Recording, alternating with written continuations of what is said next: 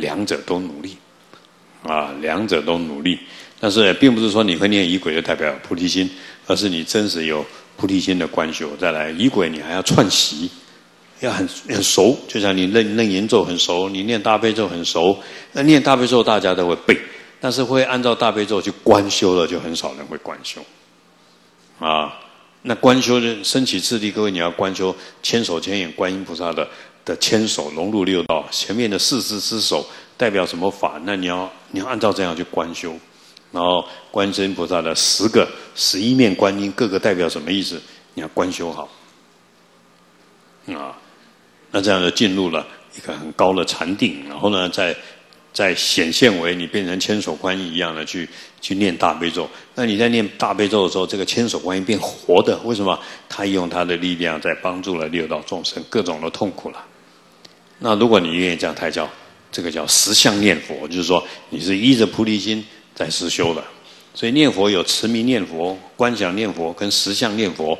那当然，我们希望达到真实的念佛，那你必须从支持名号开始。但是你要你要能够专心念佛，不打瞌睡、不掉举，那你要忏悔业障啊，不然业障会干扰你啊。那从持名以后到按照观无量寿佛经观想念佛，那你就观想极乐世界，观想西方三圣的相好庄严，你要你要要这样。啊，然后最后呢，进入了圣意的念佛，叫实相念佛，那就是说空性跟阿弥陀佛合为一体，整个世界变成阿弥陀佛一样，啊的极乐世界。那当然我们就一步一步这样做。第三，就像我们今天大家守八关斋戒，我们发了菩提心，首先你就要断除爱欲。好，如果你有爱染心，那你就不断的在轮回。爱染心，我爱我恨是最伤害菩提心的。所以第三叫真爱苦以舍啊！我喜欢这个，我不喜欢这个，那这种痛苦啊，你一定要放下。你不放下，你生生世世更苦，来生大苦故。所以我们今天所报关斋戒，不能贪爱，那也不能生气啊！所以这种生气跟贪爱这个痛苦，各位要放下。事实上。所谓苦是你要去执着才会苦，如果你不执着，怎么会苦呢？你不想要去爱，你不想要去恨，那怎么会让你苦？爱的越深越苦呢？啊！所以，但是年轻人会对爱产生一种罗曼蒂克的想法，认为这个是一个快乐。事实上，太痛苦了，太痛苦了。啊！但是我发觉，我老实说，很多人，他特别是女孩子哦，她到六十七十岁了，还还在在想着这爱爱在哪里。啊，因为他他可能婚姻不快乐，或是怎么样，他那别个地方还可以找到快乐，啊，他还想要去追求这个，所以有时候我们有时候一看就知道他在想那个，他在天呐，他没有在想阿弥陀佛，啊，他在想的那个事情。如果讲一个好色的人，你看也知道，因为有这个爱，你就会有恨，啊。啊，我喜欢这个人，结果他跟别人吃饭，还跟别人讲，你就开始痛苦了，对不对？那你这个东西苦是你自己追求的，所以各位，这个爱跟恨，不管对你的亲人、对你的儿女、对世间的事物，你都要放下。我喜欢做总经理，我喜欢买一部车，最近报纸很流行买什么车，弄得大家很痛苦啊，对不对？啊，为什么？因为这个这个。一个真正的修行者不会不会喜欢这个的，啊，所以就会遭受批评了。不过我看到这个新闻，我想想，那海涛法师也经常被批评啊。不过我被批评的是放生的事情啊，不是什么车的问题啊。因为是这个世界这环保观念有了，这个环保是属于世间法的环保。我们佛教的环保是一种空性平等的环保，所以。这个他们不理解，但不是他们错，他不了解吧？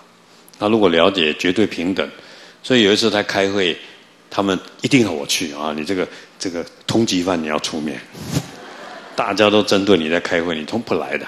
那一次中了把我拐去了的，哦！那些那些官员那些法师，哦哦哦，来了来了，头号敌人来了。我不知道怎么解释，因为对对错错，对对没办法解释。因为学者讲学者的道理，然后官员讲官员的道理，法师讲法师的道理。我只有讲一句话，我很冷静的讲一句话，我说：各位，我是佛弟子，佛告诉我，任何一个小蚂蚁，一只杀人的老虎，都是我的父母。你千万不能告诉我说，不要去救它。只要被我看到了，就怕一只最毒的眼镜蛇，我也会救它。啊，然后他们眼睛就瞪大，那你要放哪里？我说我没有说要放啊，我只是救他，我就拿回我们护生院把它关起来啊。但是如果我看到了一只毒蛇，我不救它，我是佛弟子嘛。所以我说我只能告诉你，真的众生都是母亲，所以我不会不会说你们错，但是我也不会说你对，因为你这个对。会把很多东西杀掉了。你告诉我说，你只能放这个，那个不能放，你可以讲得出口，我不能讲出口。啊，你说好吧？我妈妈对我比较好，你就活了。爸爸把他杀了。我说我讲不出口了，请你们同情我。啊，所以无论如何我不会，但是我不，你们怎么做我都都可以接受。啊，因为这是你们的努力吧。啊，你们站的立场不一样，但是请同情我的立场，因为我是佛的弟子。虽然这样讲有些不同意，呃，其中里面还有一两个下来跟我说，我看你好像没错哦。对呀，啊，你是少数，你不要讲出来，你也会被骂。我跟你讲，啊，但是我必须如此。你们可以公开讲说，鱼可以放，有害的动物不要放，本土的可以放，外来不要放。你可以讲，我不能讲，是吗？因为我们修修的是平等大悲心，我怎么可以讲？我连讲，所以我跟现场法师说，你也不能讲，讲你就破菩提心戒了。因为你是出家人呢，你总不能告诉人家说牛肉不能吃，但是猪肉可以吃。世间人是可以这样讲的，但是我们你可以不吃牛肉已经很伟大了，对我就随喜你了，至少帮助了牛。但是我们出家人，我是一个佛弟子，不能说啊。所以各位，这个有爱就有恨，所以他们把我恨得痒痒痒的，对不对？叫你不要放，都是你在放，好像我做错事啊？为什么？因为没有平等心。所以佛陀说告诉我们：真爱苦已死，不然你也会觉得很苦啊。他们的意思是说，海涛法师，你你这些钱，你为什么不拿去护身呢？我说我有在做啊，你是你们不知道啊？啊，你就。那另外一个法师说：“那你这些钱，你更应该去救老人呢。”我说：“法师专款专用呢，老人我真希望帮助啊，我能力不够啊，啊！但是但是现在救物命比较快，那我们必须专款专用啊，啊！但是他会认为我说法师，你这个讲法是你的想法，但是不是佛法，我他把我骂的要命。”什么？这个钱拿去救老人就好了，你干嘛放生？这这句话佛不会讲的。那你是你你外表是出家人，你不能讲这个，因为你代表佛陀，不是代表你自己。所以有时候我就问他：你是你的想法还是佛法？你要讲清楚。那佛法是有经典根据的，有戒律依据的啊，而不是说想法。所以要讲这个就没办法解释了。那我们只能说今天来就修忍辱嘛。啊，哀兵的状态啊！希望你们同情我。你们所要杀的都是我妈呢，我心痛呢。啊，虽然你们也救少数的，他说什么可以救，什么跟我讲的很清楚，什么什么那其他都不能救，哇，心痛啊！但是我很聪明，不能救没关系啊。我说好好好，私底下做就好了，对不对？因为救永远都是我们的生命啊，因为菩提心嘛，你不可能说老人救。那个不要救，台湾人救，美国人不救，我们不能这样讲啊！所以好人才救，坏人不要理他，这个讲不出口的，因为空性，所以要要没有分别。所以第三句话，此苦我不住，来生大快乐。所以各位，你不要去执着爱跟恨啊！你也不要认为说我爱到了我就快乐。这个吃苦我不自作，就是不执着，因无所住，不要执着这个喜欢的很讨厌的。你永远就会很快乐。再来，一个佛弟子表现怎么样？这句话我们念下来：善言生柔软，悲根闻生喜。这个很重要哦。就是说，别人骂你，你你在念佛，你在吃素，你在放生，别人骂你，你不能跟对方骂的，请各位记住啊！别人越骂你，你要越越升起你的慈悲的根本啊。然后呢，你跟他表达，对不起，那是我妈妈，所以我我我不能杀她。那我看到别人杀，我会很惭愧，我会尽量操作，但是我不能随喜你的杀，对不对？那我也不敢反对你，啊，但是我尽量做。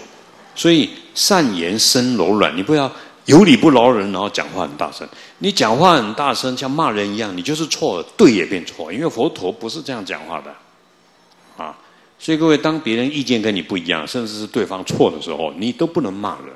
善言生柔软，好不好啊？这个很困难呐，但也要做 戒律啊啊！这个女孩子抢了你老公呢？你好，我是原配正宫，你好啊！听说你爱错人了，对不对？对方想说：“哎呦，这个风度还不错啊，没那么骂我。”不像那个影片，正宫把小三打得乱七八糟。啊，因为正宫说：“你怎么可以抢我的男人？对不对？给他打得乱七八糟，不行的。因为你要发菩提心，那这个爱跟恨。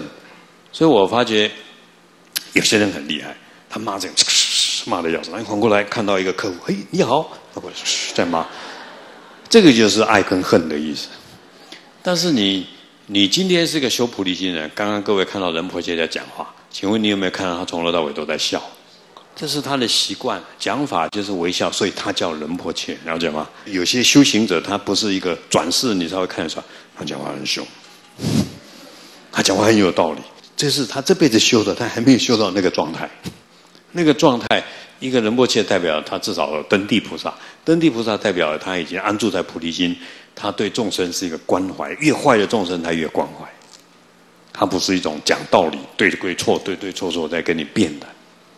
啊，所以在这一点，那各位你要表现菩提心，那各位要把这个当戒律，善言生柔软，讲的话对对方有帮助，对方就算错，你也是善心的去劝化他，对他好，啊，然后呢，以这个慈悲心做根本跟他讲话，所以听闻的人就就可以接受，啊，不然的话，各位一般都喜欢用骂的方法，对不对？